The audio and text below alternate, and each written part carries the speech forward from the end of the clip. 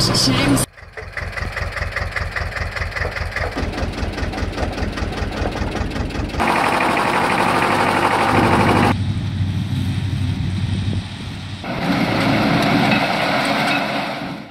Ja, servus und willkommen zurück zu Neues vom Klagandomer. Wie angekündigt, heute ist ein Päckchen für mich gekommen. Die Planen für meinen Kramer KL 300, da im Hintergrund zu sehen, sind heute mit der Post gekommen. Ich bin mal gespannt, ob alles drin ist. Der Karton ist relativ klein. Also, ich bin mal gespannt, ob da die Frontschürze, die Seitenteile und die anderen kleinen Teile noch reingepasst haben. Das Grundgerüst vom Verdeckt ist ja schon wieder draufgebaut. Das ist ja schon wieder gerichtet. Äh, Das ist ähm, einmal der Verdeckrahmen, das ist ein M210 von Fritz Meier. So sieht das Ganze hier aus. Ich hoffe, man erkennt da was. Das Verdeck ist irgendwann in die 60er, 70er Jahre mal auf dem Bulldog verbaut worden. Ursprünglich war der komplett ausgeliefert, ohne Überrollbügel, ohne Dach. Ohne Dach. Das hat mein Großvater nachgerüstet. Ja, jetzt ist er restauriert worden. Man sieht ja, ein bisschen eingestappt ist er mittlerweile wieder. Und das Verdeck hat noch gefehlt. Jetzt war das Geld dann endlich gar da und jetzt kommt es drauf. Jetzt sehen wir uns gleich zum Unboxing wieder. So, da haben wir jetzt den Karton. Lieferschein. Schauen wir erst einmal rein, was überhaupt alles in dem Päckler sein soll.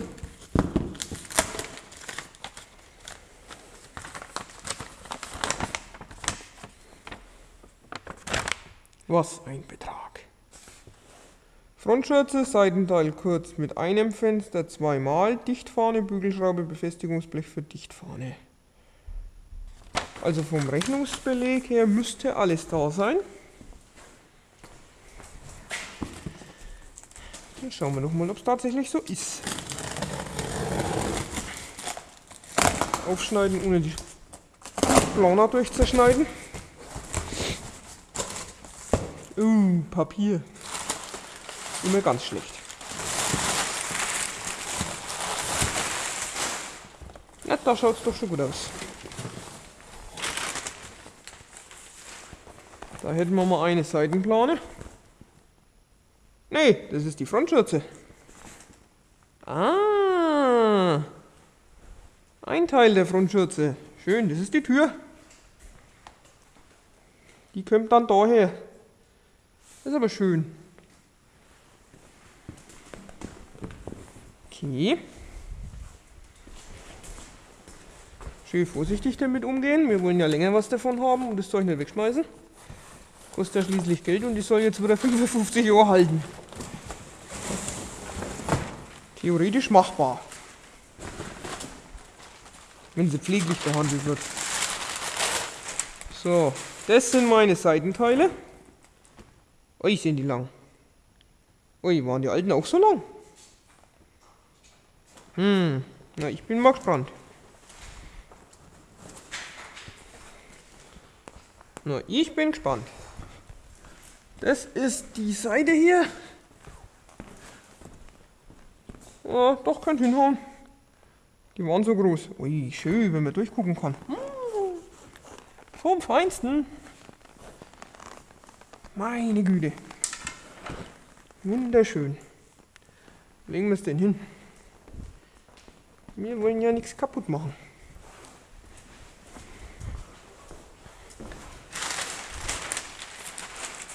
Dann hätten wir da die zweite Seitenplane.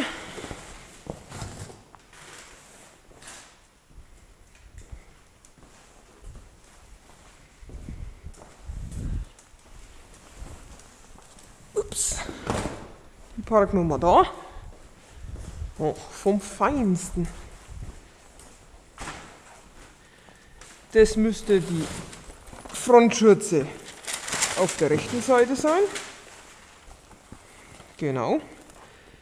Die geht dann vorne übers Dach drüber, über die Haube drüber. Die Bänder da unten, die sagen mir zwar nichts, die waren bei meiner alten nicht dran, aber na ja, gut, vielleicht ist das bei der neuen so. Mal mal sehen. Also die Stammführung, die eine Rüllplatte, da können übrigens nicht uns. Die blaue da aber schon. Das sind die Befestigungen unten, die Laschen. Zwei Bügelschrauben, die ich noch gebraucht habe. Befestigungsnieten. Die Halteblechle. Und da hätten wir eine Dichtfahne, die kommt dann unten an der Scheibe wieder rein. Sehr schön.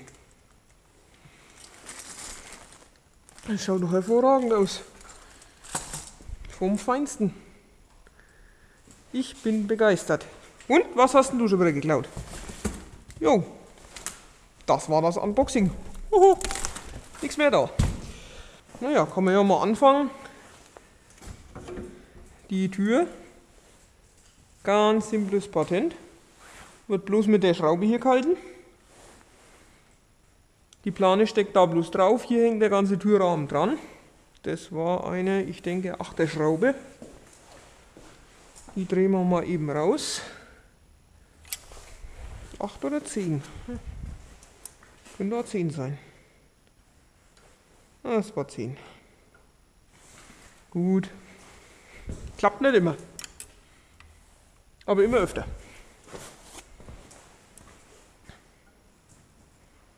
Nee, 10 ist es auch nicht, dann was toll.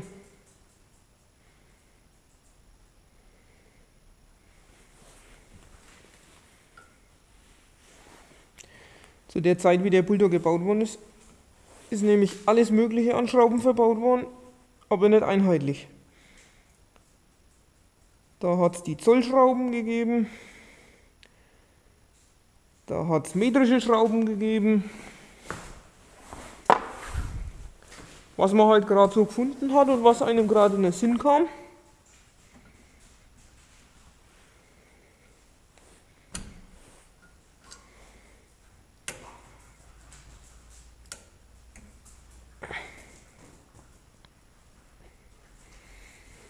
War ein bisschen voreilig, das vorher drauf zu machen.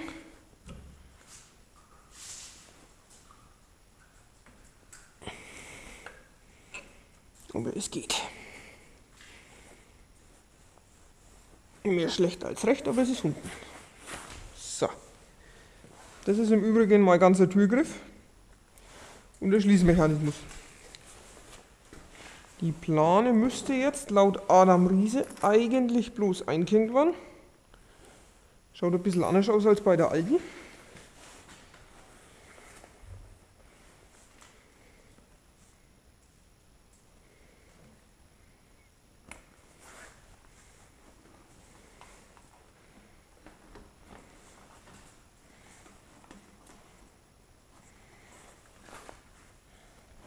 Das Ganze wird auf den Rohrbügel eigentlich bloß aufgeschoben. Das ist ein ganz simples Patent.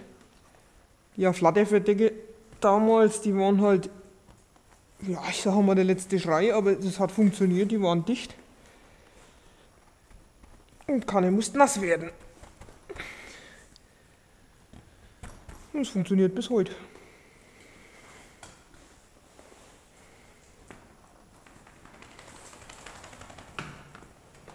So. Ja, das Ganze sitzt dann so da dran.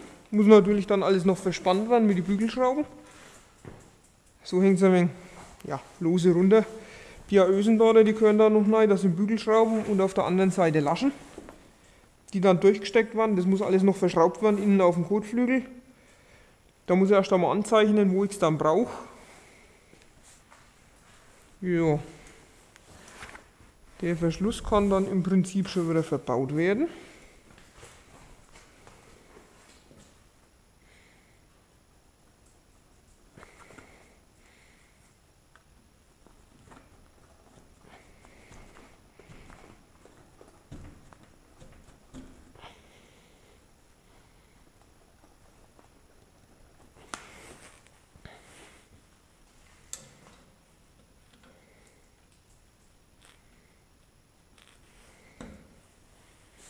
Schraube wieder durch. Mutter wieder auf der anderen Seite drauf. Äh, bleibt da. Fällst mir nicht in die Grube. Dann lässt man gerade wieder den Deckel aufmachen.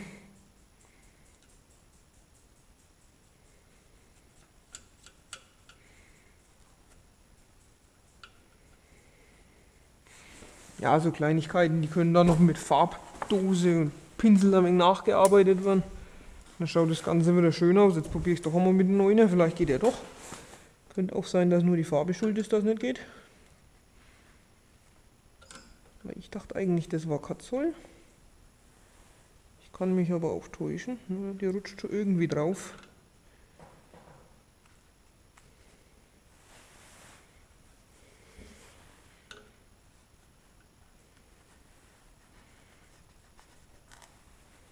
So.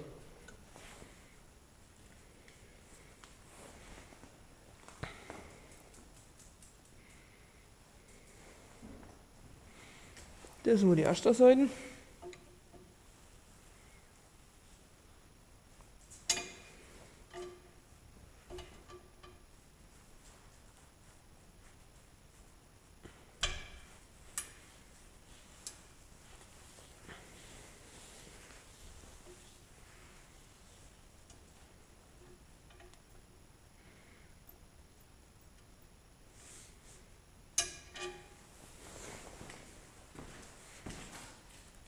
So.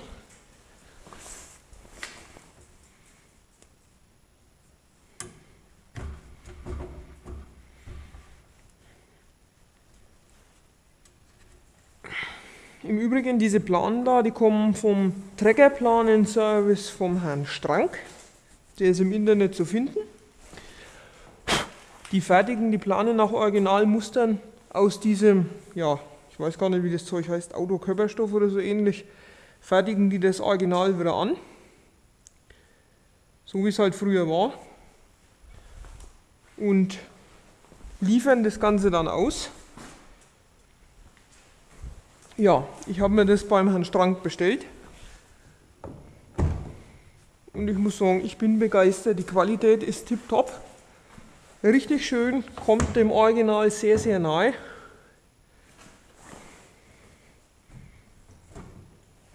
Also da gibt es gar nichts.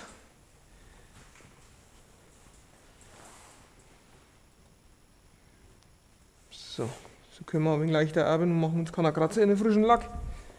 Und frisch ist auch schon wieder relativ, aber wenn man es vermeiden kann, dann macht man natürlich keine Kratzer. Da sieht man es übrigens nochmal schön. Planenservice. Ja, also wie gesagt, Trägerplanenservice im Internet sind sie zu finden ist eine 1A Qualität. Bislang, ich meine, das muss ich natürlich noch bewähren. Ob der danach so lang hält wie der Originalstoff, wird sich zeigen.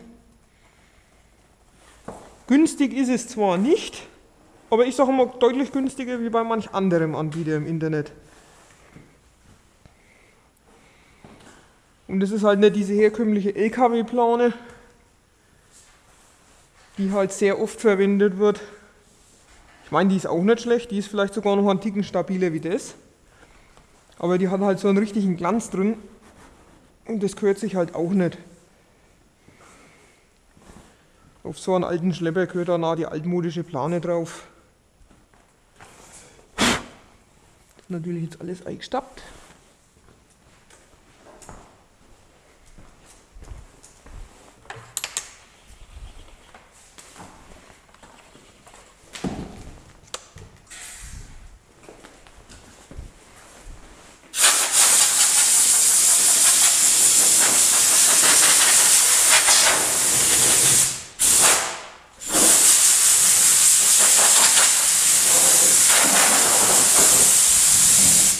Krame wurde seit einem Äpfelkrom gestanden.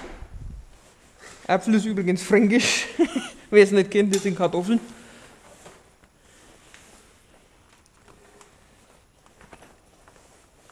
Deswegen ist der jetzt so eingestappt. Blasen wir noch halt einfach mal ein ab, dann passt das auch wieder. Alles recht stramm. Na gut, es ist natürlich jetzt auch saukalt. Wo sind die Kurven? Da geht das Band runter. Da muss dann erst das andere vernietet werden. Liegen Nieten und alles dabei. Das ist natürlich jetzt ein wenig eine Bastelaufgabe. Ohne Fleiß kein Preis. Das Das Ganze einstellen, dann das Dach in der Höhe regulieren. Dass alles wieder an seinem Platz ist. Da sind die Häken dran. Da werden später die Häken rangenietet und hängen da, da drauf. Und halten die Plane dann auf Spannung. Ja, muss ich halt jetzt nochmal stückchenweise sehen, wie das gehört. Ich habe den Bulldog im. Hm. Jetzt muss ich selber mal überlegen. Ich habe ihn jetzt zerlegt im März. Irgendwann um den 15. März habe ich das fertig runtergemacht. Seitdem war es nicht mehr drauf. Also es wird schon irgendwie funktionieren. Ich war schon wieder irgendwie draufbringen. Ich stecke jetzt erst nochmal die Plan alle lose nach. Und dann sehe ich schon, ob ich richtig liege oder nicht. Normalerweise, wenn es jetzt alles richtig schließt, setze ich natürlich voraus.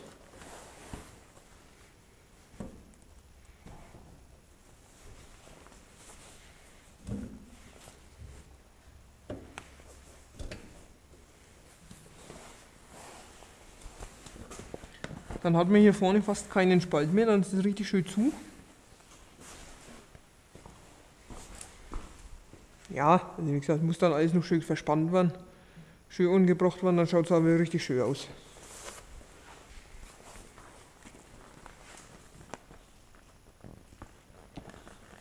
Vorne war sie bloß eingehängt.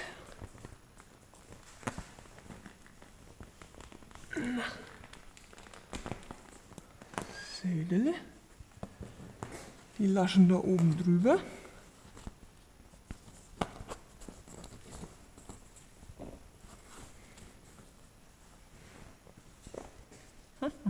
War die so lang? Kann ich mir gar nicht glauben. Nur die kurze bestellt. Das ist echt.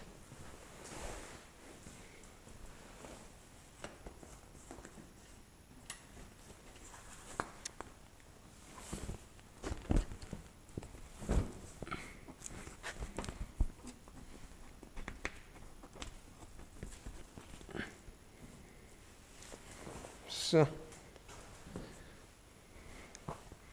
Hm, wird ja richtig kuschelig.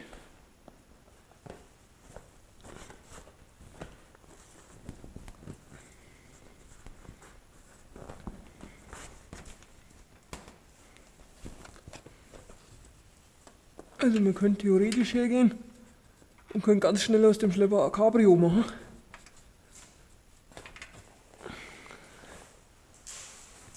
Friemeliger. Oh, wer macht das schon? Ja gut, die Planen sind normalerweise für runde Kotflügel gedacht. Der Kramer hat aber Dachkotflügel. Da passen die nicht hundertprozentig. Das muss man sich halt dann selber anpassen, so sind die Planen damals schon ausgeliefert worden. Also so universalfertig, wo der Landwirt selber noch ein bisschen basteln muss. Als Fertigteil gab es das Ding eigentlich nie, dass es hundertprozentig gepasst hat. Beim einen Schlepper besser, beim anderen schlechter. Ich denke, so rum war das. Ich dachte zwar immer, es war außen, aber naja gut. Neue Plane andersrum.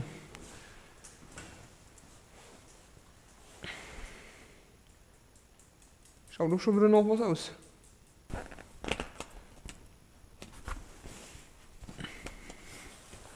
Nee, also das Dach ist schon wirklich das mit Wichtigste, was ich vermisst habe an dem Schlepper. Ohne Dach, das ist kein Spaß. Da macht das Fahren wirklich keinen richtigen Spaß nicht.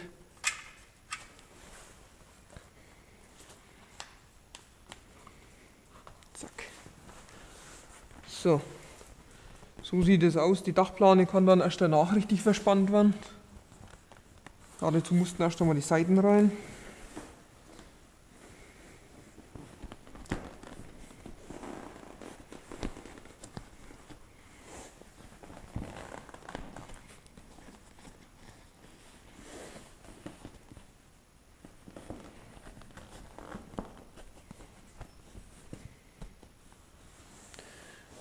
Ja, also ich denke im Groben und Ganzen kann man schon erkennen, wie es dann wieder wird. So, Das Dach ist jetzt in der Höhe verstellt. Das heißt, jetzt soll jetzt eigentlich auf der endgültigen Höhe sitzen. Das schaut ganz gut aus. Wenn ich es jetzt hier spanne, dann steht es auch endlich schön gerade.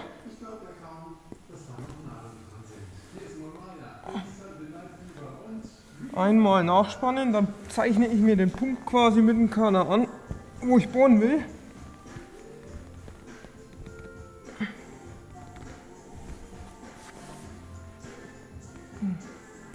Einklinkwand soll es ja auch. Vom Gefühl her, vom Bauchgefühl her hätte ich jetzt gesagt, genau an der Stelle.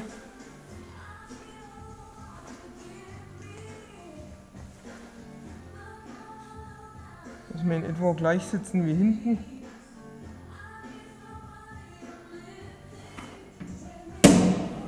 Einmal angekörnert, dass uns der Bohrer da nicht abhaut.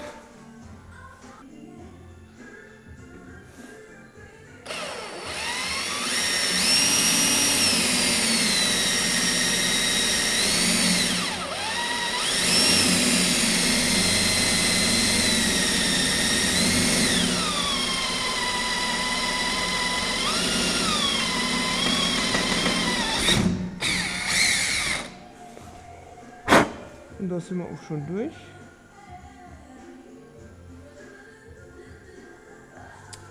Das Ganze war ja ursprünglich schon mal gebohrt. Da waren ja schon mal Schrauben drin. Ich baue ja das Verdeck nicht zum ersten Mal auf den Bulldog, das war ja schon mal drauf.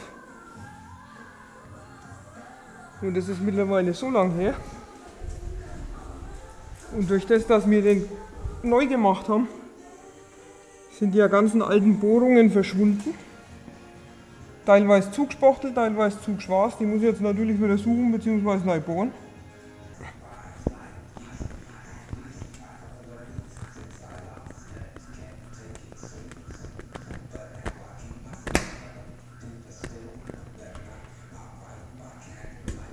So, so sieht's doch gut aus. Und das hat doch was. So, ein kleines bisschen gebastelt später.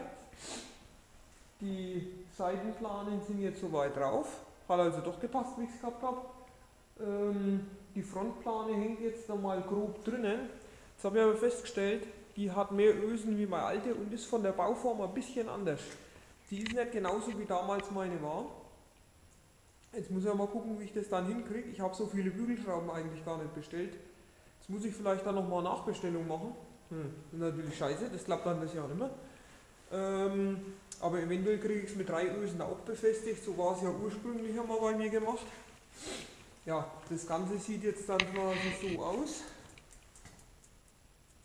Ähm, ich muss auch mal gucken, mal gucken ob es eine Aufbauanleitung oder sowas gibt, dass ich sehe, wie das Ganze jetzt dann verspannt gehört. Die neuen Planen sind einfach ein bisschen anders, wie sie früher waren. Ich weiß auch noch nicht wie das alles gehört. Die Dichtfahne habe ich nochmal grob reingemacht, die muss ich dann noch reinnieten. Eine Niete habe ich gesehen, ist ähm, nicht drinnen, da muss ich eine reinnieten. Naja, mal gucken. Wird auf alle Fälle noch ein bisschen gebastelt. Gar nicht so einfach wie eigentlich gedacht. Und so wie es ausschaut, fehlt vermutlich eine Spannstange vorne drin. Da muss ich gucken, ob ich die alte von meinem Bulldog verwenden kann oder ob ich eine neue brauche. Soweit erst einmal. Bestand der Dinge. Ja, also es ist jetzt 0.30 Uhr, zumindest haben sie das gerade in den Nachrichten gesagt. Die Uhr da hinten zeigt eine andere Zeit an, das liegt daran, die ist irgendwie stehen geblieben oder spinnt oder keine Ahnung.